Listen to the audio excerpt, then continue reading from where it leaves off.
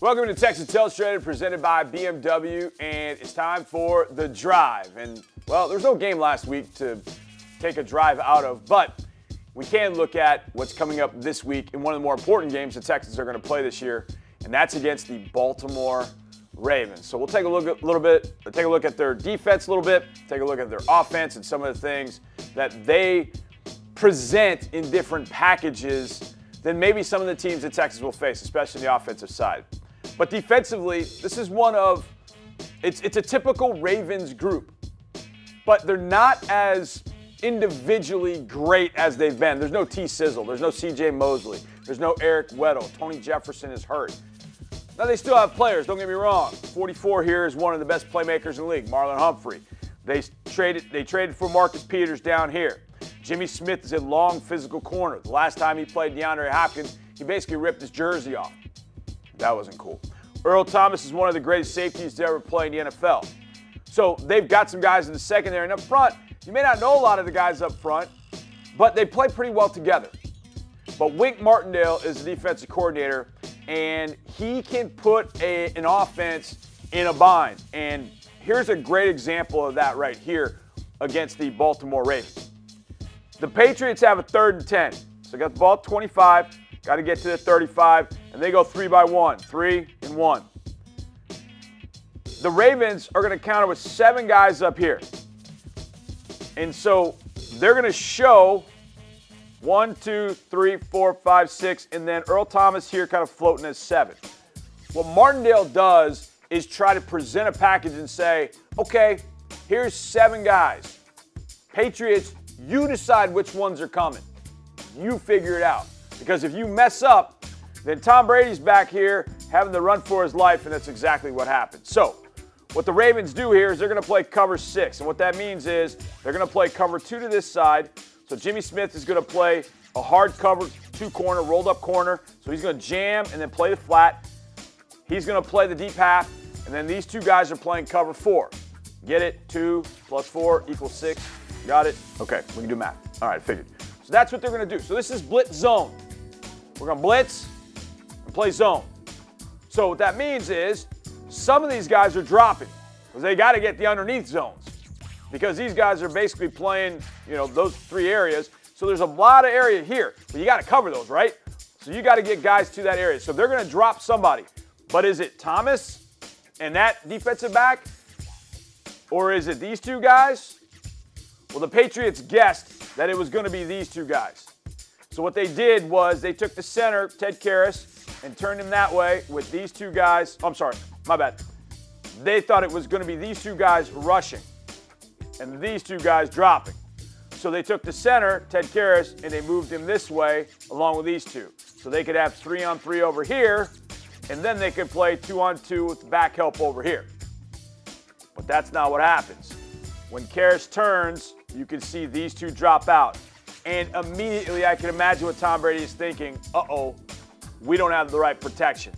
Because now what you've got is three on one, and now you got one, two, three on four. You can math, right? Four greater than three.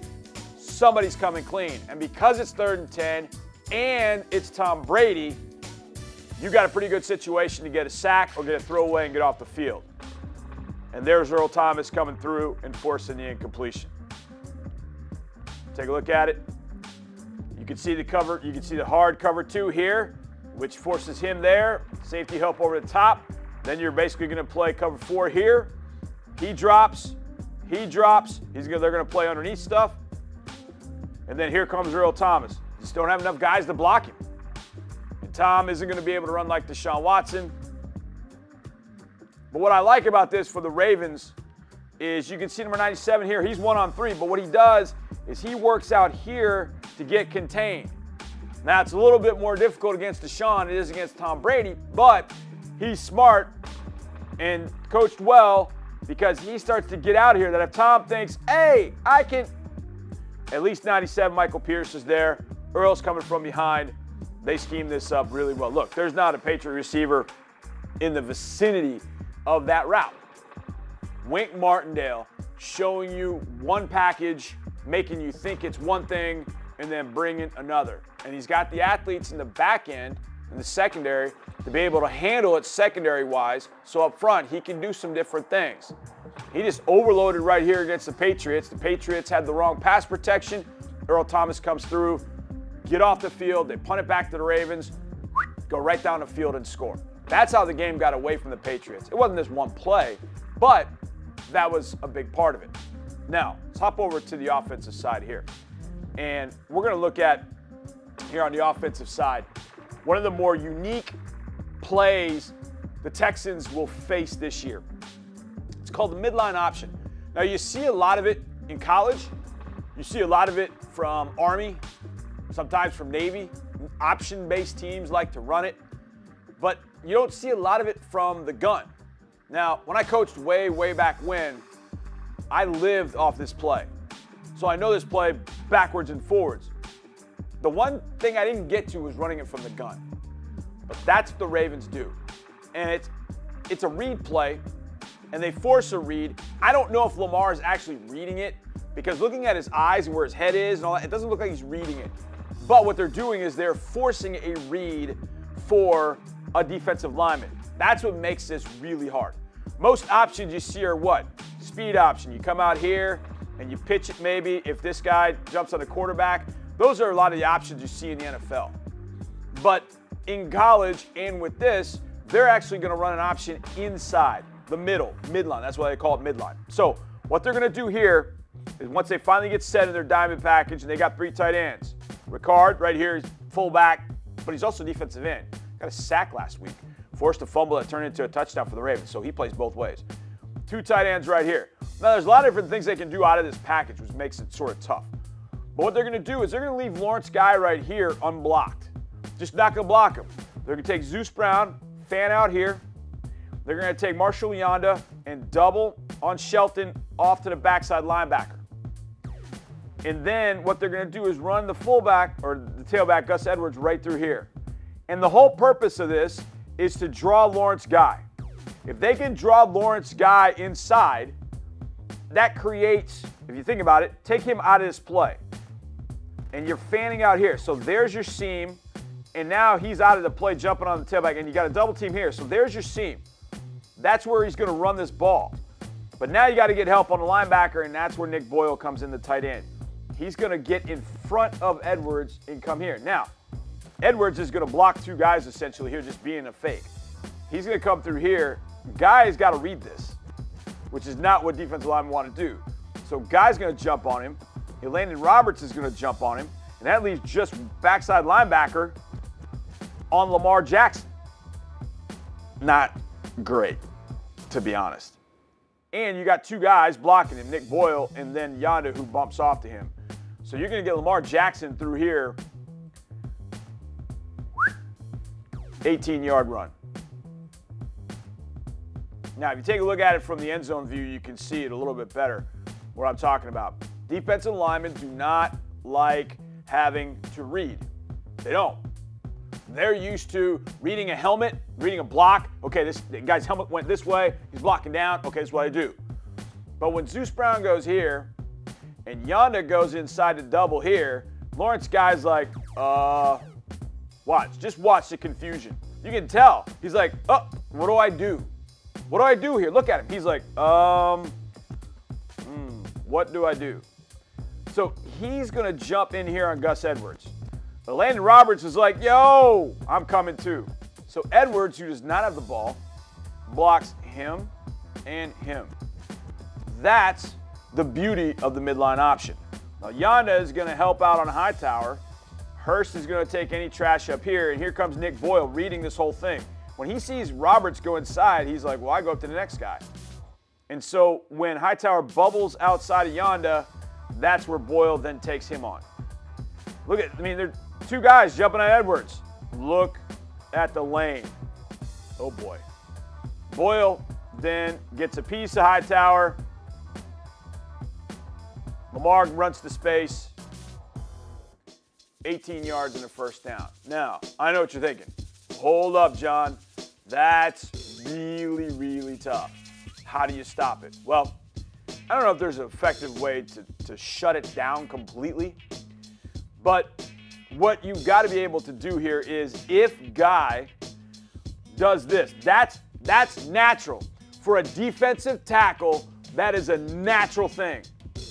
But you can't have this. What you've got to be able to do is exchange responsibilities.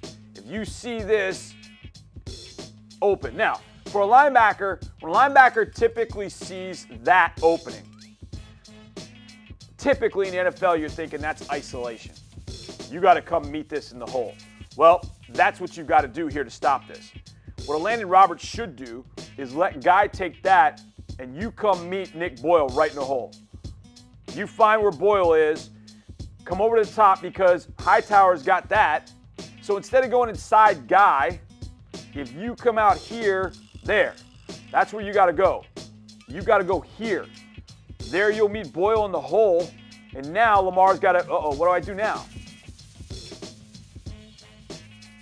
And this is the other thing here. This is what makes it problematic because Zeus Brown's got a pretty easy block because he widens out with the tight end. So Guy's got to go here. Roberts has got to take on Boyle. Hightower then fits in over the top. You cannot give that direct running lane. But when Roberts goes in here to Edwards and Guy's unblocked, you can see what I'm talking about. Now, I know what you're saying, but John, it's instinctive for a linebacker to just find the ball, just this is one of those weeks where your responsibility isn't always find ball, hunt ball, tackle ball, because the ball isn't always where you think it is. That's where Lamar is taking us. Now, when I said earlier, I don't know if he's actually reading what Guy is doing. His eyes, look at his eyes. Typically, if you're running midline option, your eyes are right there. So I don't know if he's actually reading this or not. This just might be designed midline option. So with his eyes like that, now they're to have a run where they take it back that way. I promise you. I promise you that I mean that he's to give it to him at some point.